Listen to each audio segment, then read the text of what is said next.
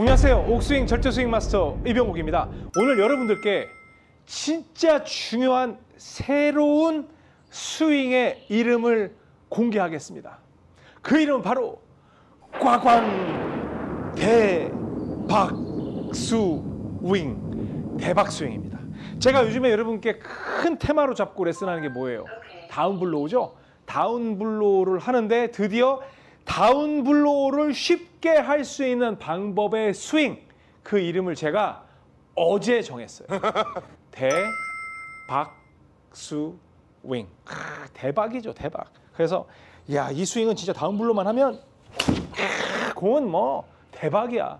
이렇게 생각하실 것 같지만 절대 그렇지 않다. 오늘 이 개념은요, 여러분들이 지금까지 궁금해했던 내용을 다 해결해 드릴 수도 있고 굉장히 체계적이고 논리적인 접근을 통해서 여러분이 왜 이 대박 스윙을 해야 되는지를 알려드리는 시간이 될 겁니다. 우리 선수들이 임팩트 하는 모션을 보면 이게 이제 어드레스 모션이에요. 이때는 오른팔이 다 펴 있습니다. 쫙 펴 있는 건 아니지만 대체로 늘어뜨린 상태에서 펴 있어요.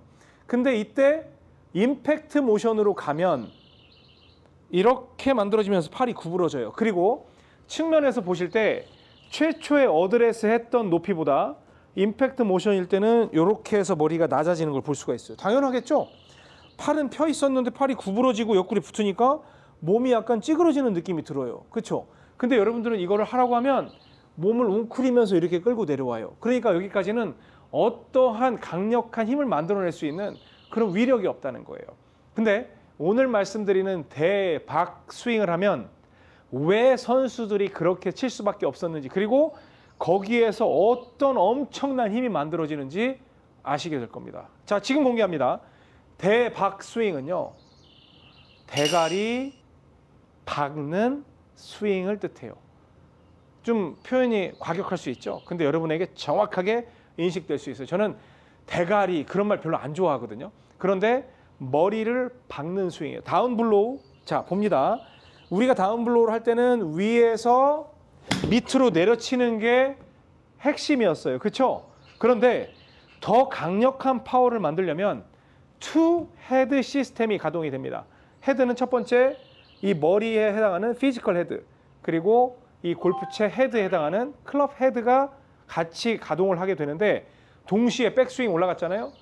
같이 내릴 거예요. 저는 어떻게 칠 거냐면 이 공의 분노를 표출할 건데 여기서 완전 이런 식으로 머리를 박을 거예요. 제 대가리를 박을 거예요. 자, 봅니다. 여러분이 잘 보셔야 돼요.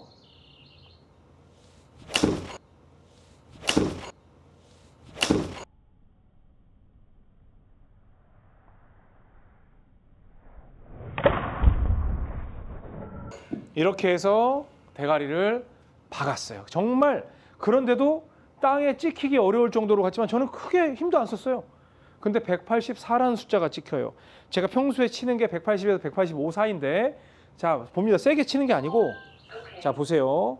머리를 같이 내릴 거예요. 똑같이 공 여러분이 평소에 놓는 공 위치 백스윙 들고 이렇게 숙였어요. 자 봅니다. 저는 그냥 머리를 숙이면서 내려가는 거예요. 자 이때 갔을 때 지금도 한 181, 2 정도가 찍혔습니다. 또 대가리 박아 백스윙 할 때 대가리 다운스윙 할때 박아 머리와 이 손에 잡혀 있는 클럽 헤드를 동시에 박아 이런 느낌이에요. 이런 느낌인데 공 날아가는 거 보세요. 훨씬 높게 뜨고 그 다음에 찍히는 파워가 말도 안 되게 강해요. 지금도 178이라는 숫자가 찍혔는데 이때 여러분들이 제가 슬로우 모션으로 보여드린 것처럼 박아 한다고 해서 막 머리가 이만큼씩 내려가질 않아요. 자, 왜 그런지 말씀을 드릴게요. 기본적으로 골프 스윙할 때 여러분께 하지 말라고 하는 게 헤드업 하지 마. 헤드업 하지 마. 이런 말씀 되게 많이 들어보셨죠? 근데 헤드업은 기본적으로 사람의 본능이에요. 위에서 내려치긴 하지만 얘를 내가 뭔가를 해야 된다고 생각을 해서 몸이 들썩이는 건 골프를 배우는 사람의 본능적인 동작이라는 거예요. 그러면 제가 지금 여러분께 드리려고 하는 이 대박 스윙은 to type이에요? from type이에요? 맞습니다. to type입니다. 오직 다운 블로우를 powerful하게 하기 위한 초강력 파워를 싣기 위한 아주 강력한 내 몸부림이라는 겁니다. 그래서 다시 놓고 들어서 이렇게 박는 거예요. 박았어요.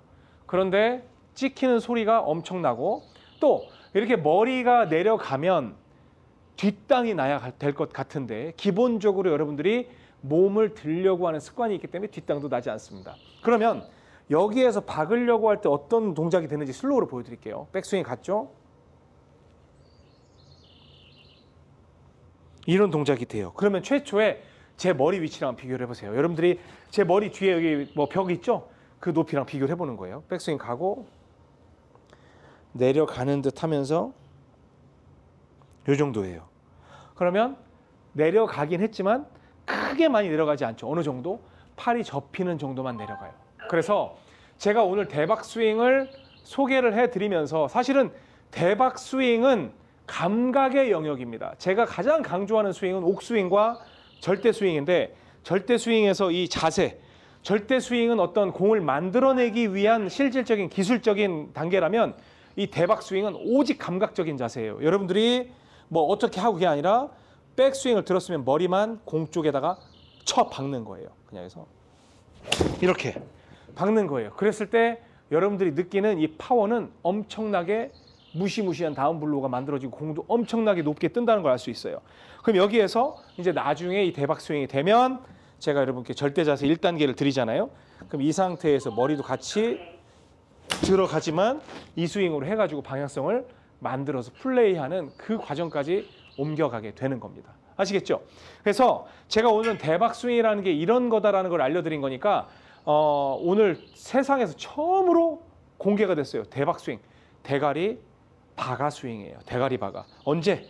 다운 스윙을 시작함과 동시에 머리도 같이 내려가.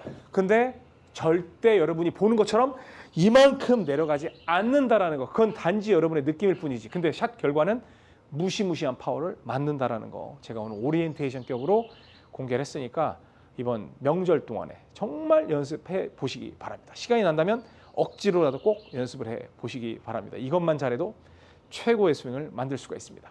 제가 다음 시간에는 이걸 어떻게 풀어가면 좋은지 그 과정도 설명드릴 테니까 대박 스윙이 여러분의 스윙을 대박으로 만들어 드릴 겁니다. 감각적인 영역의 대박 스윙 여러분과 함께 하겠습니다. 지금까지 세곡동 옥선생 이병옥이었습니다. 고맙습니다. 골프 레슨은 이병옥 골프학교에서 좋아요, 구독은 덤